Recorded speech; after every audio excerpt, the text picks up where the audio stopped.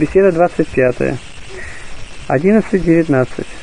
Между тем рассеявшиеся отгонения, бывшие после Стефана, прошли до Финикии и и Антиохии, никому не проповедуя слова, кроме иудеев.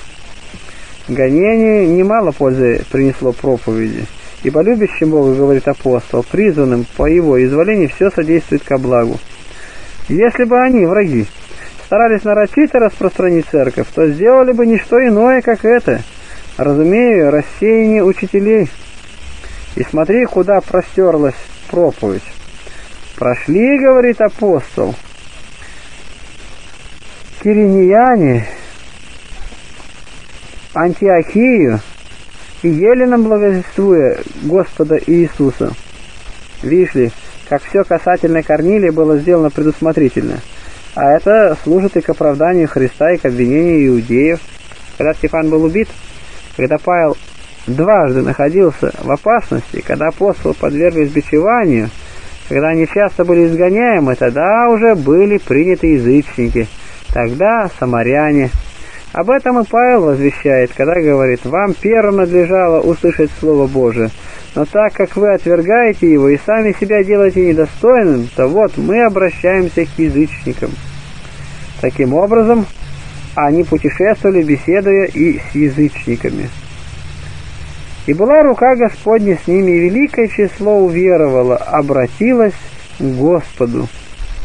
Смотри, как проповедует Еленам.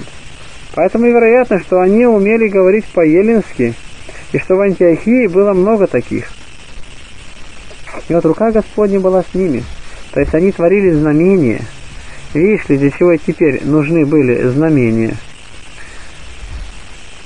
Дошел слух о сем до церкви Иерусалимской, и поручили Варнаве идти в Антиохию. Для чего же в такой город, уже принявший проповедь, не отправились сами апостолы, а посылают Варнаву, а ради иудеев. Впрочем, с немалой предусмотрительностью это устраивается, для того, чтобы таким образом прибыл сюда Павел. Не напрасно, но по великому устроению Божию отвращается от него иудеи, чтобы этот голос проповеди, эта труба небесная не ограничилась Иерусалимом. Видите, как Христос всегда обращал самую злобу их в благо по своей воле – и нерасположенность их к Павлу потребил к созданию церкви из язычников.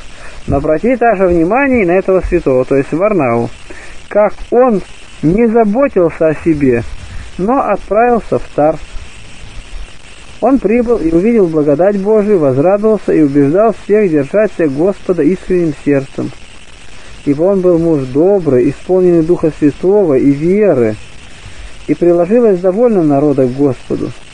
Потом Варнава пошел в Тарс искать Савла, и, нашед его, пришел в Антиохию. Он был муж весьма добродетельный, кроткий и дружен с Павлом. Потому он и пришел к этому атлету, к этому военачальнику, к этому единоборцу, к этому льву. Не знаю, что еще сказать. Что я не сказал бы, скажу меньше достоинства Павлу. Пришел к этому ловчему псу, одолевающему львов, к этому крепкому валу, к этой лампаде светлой, к этим устам, достаточным для всей вселенной, подлинно, потому что в Антиохии верующие стали называться христианами, что Павел пребывал в ней столько времени. Целый год собирались они в церкви и учили немалое число людей, уверовало. И ученики в Антиохии в первый раз стали называться христианами – Немалая похвала городу. Действительно, можно утверждать перед всеми, что он прежде всех прочих городов столько времени наслаждался теми устами, и оттого в нем прежде всех верующие удостоились этого названия. Видишь ли, на какую высоту он вознес, и каким славным содел этот город. Это заслуга Павла. Там, где уверовали три тысячи, где пять тысяч, где такое множество, не было ничего подобного, но назывались еще только путем, а здесь стали называться христианами. В те дни пришло, пришли из Иерусалима в Антиохию пророки. Так как здесь надлежало произрасти плоду милостыни, то с пользой устрояется, что сюда пришли пророки. Но заметь, прошу, и здесь, Никто из известнейших апостолов не был учителем, но имели учителями Кипрян и Киринейцев и Павла, хотя он и превосходил их, подобно как Павел имел учителями Варнаву и Ананию. И однако от того он нисколько не был меньше их. К тому же у него был учителем сам Христос. И один из них по имени Агав, став, предвозвестил духом, что по всей вселенной будет великий голос, который был при кесаре Клавдии. Не напрасно здесь предвещается, что будет великий голос, который случился, как о нем было предсказано, чтобы некоторые не подумали, будто голод был потому, что появилось христианство, что отступили демоны. Дух Святой предсказывает, что имело случиться, подобно тому, как и Христос предсказывал многое, что и случилось. Таким образом, не потому это случилось, что так должно было случиться от начала, но за то зло, которое сделано было апостолом. Когда начали делать его, то Бог долго терпел, а когда стали упорствовать, то наступает голод, угрожающий иудеям будущими бедствиями. Но если он был для них, то для прочих ему и по наступлению надлежало прекратиться. Какое в самом деле зло сделали елены, чтобы и им, не сделавшись, не сделавшим никакого зла апостолам, подвергаться тем же бедствиям? И если же не для иудеев, то и сами христиане могли еще бы явить более свои добродетели, потому что иудеи делали свое дело, убивали, терзали, мучили, повсюду гнали их. И смотри, когда наступает голос, когда уже приняты были и язычники, 236. Но скажешь, если голод был на за злодеяние иудеев, то христианам следовало бы быть изъятыми от него. Почему же, скажи мне? Не сказал ли еще прежде им Христос, что в мире будете иметь скорби? А ты, говоря это, может быть, и то прибавишь, что им не следовало и подвергаться бичеванию. Но смотри, для них и голод послужил во спасение, подал повод к милостыне, сделался виновником многих благ, как он был бы и для вас, если бы вы захотели. Но вы не хотели. Предсказывается о нем для того, чтобы они приготовились к милостыне, потому что бывшие в Иерусалиме тяжко страдали, а до того времени у них не было голода и посылаются Варнава и Павел послужить им. Тогда ученики положили каждый по достатку своему послать пособие братьям, живущим в Иудее. Видишь как они лишь только уверовали, уже приносят и плоды. Не для своих только, но и для отдаленных. Здесь, кажется мне, говорится о том же, о чем в другом месте Павел говорит. Отдали души, положили чтобы и заповедали нам с Варнавой, чтобы мы помнили нищих. Такую-то пользу принес голос. И смотри, они при этой скорби не предаются плачу и слезам, как мы, но принимаются за великое и доброе дело. Они продолжали проповедовать слово еще с большей смелостью. И не сказали, мы, киринейцы и кипряне, пришли в такой славный великий город, но, надеясь на благодать Божию, эти приступили к учению, а те не возгнушались чему-нибудь научиться от них. Смотри, как все совершается мало-помалу, проповедь распространяется. Находящиеся в Иерусалиме заботятся одинаково о всех, как бы считая всю вселенную одним домом. Услышали они, что Самария приняла слово, и послали туда Петра и Иоанна. Услышали о происшедшем в Антиохии, и посылают туда Варнаву, Велико было расстояние от Иерусалима, и апостолам еще не следовало отлучаться оттуда, чтобы не сошли их за беглецов, убегающих от своих. Отлучаются же они оттуда по необходимости уже тогда, когда наконец иудеи оказались неисцельными, когда уже настала война и можно было погибнуть, когда произнесен был приговор на Иерусалим. А доколе Павел не прибыл в Рим, да то ли они были там. Впрочем, они удаляются не потому, что боялись войны. Как могли бояться этого те, которые шли к людям, имевшим вести с ними брань? Притом война началась уже по смерти апостолов, исполнилось сказано и об иудеях, и постиг их гнев до конца. Так, чем они были уничиженнее, тем более сияла благодать через малых, совершая великое. Но обратимся к вышесказанному. Умоляя всех, говорит писатель, претерпевать о Господе. Мне кажется, добрым означает здесь прост, простого, непритворного, весьма ревнующего о спасении ближних. И не только он был муж добрый, но исполнен Духа Святого и веры. И смотри, как этот город, как бы тучная земля, принял слово и явил великий плод. До чего же Варнава извел Павла из старца и привел сюда? Не напрасно, но потому что здесь были и хорошие надежды, и обширный город, и великое множество народа. Видел ли ты, как все совершает благодать, а не Павел? Как дело началось с малого, а когда стало известным, тогда они посылают Варнаву. И почему не послали его прежде? Потому что имели великое попечение о своих делах и не хотели, чтобы иудеи обвиняли их за то, что они принимали язычников. Ведь когда неизбежно нужно было им соединиться с язычниками, между ними было некоторое негодование, для предотвращения которого произошло бывшее с Корнилием. Тогда уже и говорят, чтобы нам идти к язычникам, а им к обрезанным. И смотри, как благовременно нужда от голода произвела общение через милостыню, посланные от язычников к бывшим в Иерусалиме. Эти принимают посланные от тех, и те не так, как мы, встречающие несчастье со слезами, не поступали так, но переносили с великим благодушием, как находившиеся вдали от гонителей, и жившие между людьми, не боявшиеся иудеев, что также немало к тому способствовало. Но отходили и в Кипр, где была большая безопасность и большое спокойствие. Никому, говорит, не проповедуя, только иудеям. Делали это они по страху человеческому, который считали за ничто, а желая соблюсти закон и еще снисходя к ним. Были же некоторые в Антиохии. Может быть, потому что они не умели говорить по-еврейски, называли их еленами. Пришел же Варнава, говорит писатель, видел благодать Божию, а не старание человеческое. Молил их терпеть о Господе.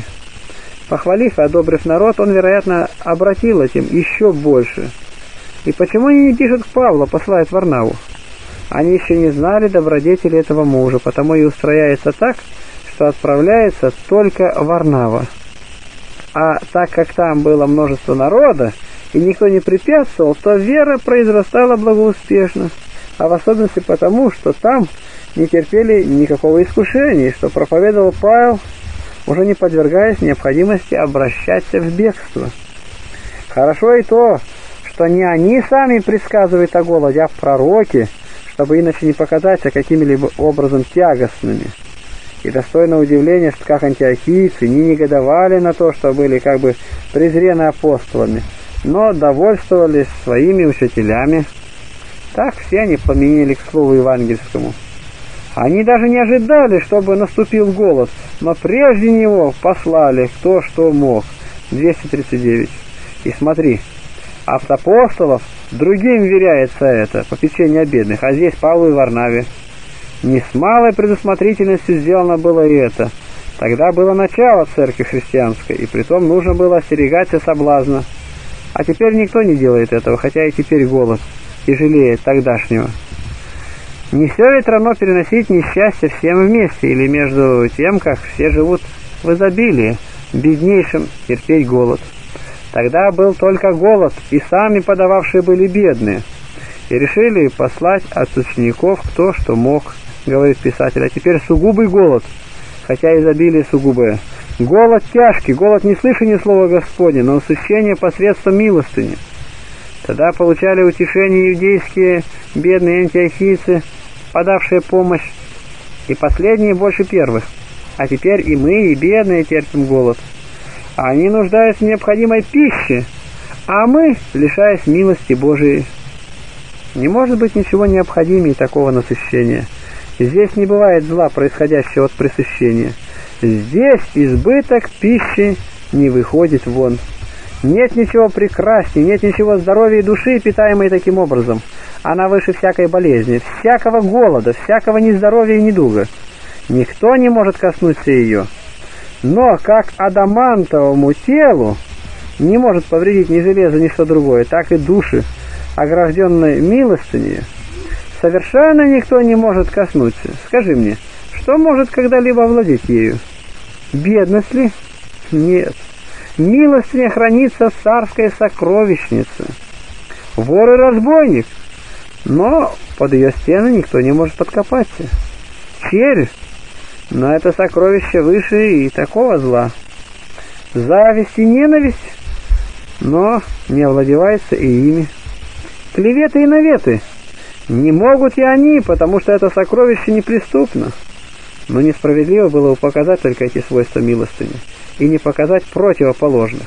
Она не только свободна от зависти, но и сопровождается великим благословением даже от не испытавших ее благодеяний. Как жестокие и бесчеловечные бывают ненавистны не только тем, которые обижены ими, но и тем, которые ничего не потерпели от них, а только сострадают обиженным и осуждают обижающих. Так и соделавших много прекрасного хвалят не только те, которые облагодетельствованы ими, но и те, которые ничего не получили от них. Но что я говорю? Свобода от зависти, клеветников, воров и разбойников. Не это только в ней хорошо, но еще и то, что она не уменьшается сама в себе, а всегда возрастает и умножается. Что было гнуснее Навуходоносора? Что безобразнее, что преступнее его – он был человек нечестивый, видел множество знамений и чудес и не захотел раскаяться, но вверх в печь рабов Божиих. Хотя после того и поклонился Богу. А что говорит ему пророк? «Царь, вот совет мой, да будет он тебе угоден. Милостынями твоими искупи грехи твои, и неправды твои щедротами убогих». Бог долго терпе, терпелив. Сказал так не потому, чтобы сомневался, что, может быть, Бог и помилует тебя. Он ведь был совершенно уверен в том, но желая возбудить в нем больше страх и сильнее показать необходимость сделать это, если бы он сказал утвердительно, то тот сделался бы еще более нерадивым. Так и мы тогда, скорее всего, побуждаем кого-нибудь, когда говорим «попроси такого-то» и не прибавляем, что он непременно выслушает, но говорим «может быть, он выслушает». Большее опасение, происходящее от сомнения, производит и больше побуждения. Поэтому и пророк не высказал этого ясно. Но что ты говоришь? Неужели таким преступлением будет прощение? Да. Нет греха, которого бы не могла очистить, которого бы не могла истребить милостыня. Всякий грех ниже ее. Она есть врачество, пригодное ко всякой ране. Что хуже мытаря? Он способен на всякое нечестие, но и это все нечестие Захе очистил. Смотри, как и Христос внушает это тем, что установил, чтобы носил с собой ящик и ложили, что дают. И Павел говорит, только бы мы помнили нищих, везде в Писаниях много говорится об этом предмете. Так Премудрый говорит избавление мужу души своей, ему богатство, притча 13.8. И Христос, если хочешь быть совершенным, продай имение твое, раздай нищим, и следуй за мною. В этом подлинно и состоит совершенство. Милостыня же совершается не только деньгами, но и делами. Так, например, можно ходатайствовать, можно подать руку помощи. Часто в делах ходатайство помогало даже больше денег, 240. Итак, приведем в действие в настоящем случае все рады милостыни. Можешь деньгами? Немедля. Можешь ходатайством? Не говори, у тебя нет денег. Это ничего. И то значит весьма много. Будь так расположен, как бы ты подавал деньги. Можешь услугою? Сделай это. Например, ты врач по званию. Позаботься о больных. Это много значит. Можешь советом? Это гораздо важнее всего. Совет тем лучше и выше всего, чем больше он приносит пользу. Им ты избавляешь не от голода, но от лютой смерти. Им и апостолы были особенно богаты, поэтому раздачу денег они верили низшим, а сами пребывали в служении Слову. Или думаешь ты, невелика будет милостыня, если душу, предавшуюся унынию, находящуюся в крайней опасности, одержимую пламенем страсти, можешь освободить от этой болезни? Например, ты видишь друга, одержимого сребролюбием. Окажи милость этому человеку. Он хочет удавиться. Угаси пламень его. А что, если он не послушается? Ты делай свое дело и не ленись. Видишь его связанного узами сребролюбия? Ведь поистине узы. Приди к нему, посети его, утешь, постарайся освободить от уз. Если он не согласится, сам будет виноват. Видишь наговый странника, поистине наг и странник для небес, не пекущийся добродетельной жизни. Возьми его в дом свой, одень в одежде добродетели, сделай гражданином неба. А что скажешь, если я сам наг? Одень наперед себя самого. Если знаешь, что ты наг, то, конечно, знаешь и то, что ты должен одеться. Если только ты знаешь свойства этой ноготы, то легко можешь узнать и свойственное ей одеяние. Как многие женщины носят шелковые одежды и поистине обнажены от одежды добродетели. Таких пусть одевают мужья, но они не принимают этих одежд, а хотят тех. Сделай сначала так, возбуди в них желание этих одежд, покажи, что они наги, беседуй о будущем суде, скажи, что там нужны будут нам другие одежды, а не те шелковые. Если позволите мне, то и я покажу эту наготу. Ногой во время стужи цепенеет, дрожит, стоит скорчившись и поджавши руки, а во время жара не делает этого. Если теперь я покажу, что и богатые мужи, и богатые жены, тем более бывают наги, чем более одеваются, то не гневайтесь. Скажи мне, когда мы рассуждаем о гиене и тех мучениях, не больше ли цепенеют и дрожат эти, нежели те, ноги? Не вздыхают ли они тяжко, не осуждают ли самих себя? Когда они приходят кому-нибудь и говорят «помолись обо мне», не то же ли самое говорят они, что и те? Впрочем, теперь, что бы мы ни говорили, эта нагота не будет видна вполне. Она будет видна там. Как и каким образом?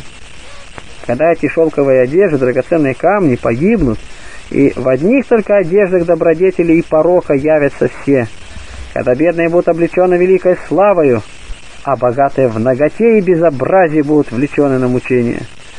Кто был изнеженнее того богача, облекавшегося в парфиру? Кто беднее Лазаря? А кто из них говорил, подобно нищим? И кто наслаждался блаженством? Скажи мне, если бы кто украсил дом своим множеством покрывал, а сам сидел внутри его ногим, какая была бы польза? Так бывает и с женами. Дом души, то есть тело, одевает множеством украшений, а госпожа дома сидит внутри ногая. Откройте, прошу, душевные очи, и я покажу вам душевную наготу. Что такое одежда души? Ясно, что добродетель. А что нагота? Порог как если обнажить кого-нибудь из свободных, то он стыдится, стесняется и убегает. Так точно и душа, не имеющая этой одежды, когда мы хотим взглянуть на нее, стыдится. И теперь думаешь, многие не стыдятся ли и не удаляются ли в самую глубину, как бы ища какого покрывала и занавеса, чтобы не слышать этих слов.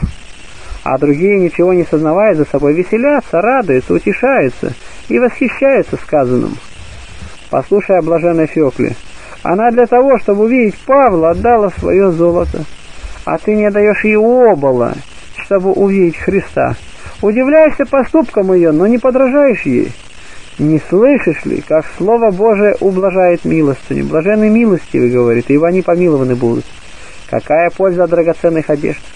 Да коли мы будем пристрастны к этому украшению, будем одеваться славою Христовую, будем облекаться тою красотой, чтобы нам и здесь получить похвалу, и там сподобиться вечных благ по благодати человеколюбию Господа нашего Иисуса Христа, с которым Отцу со Святым Духом слава, держава, честь, ныне и присно, и во веки веков.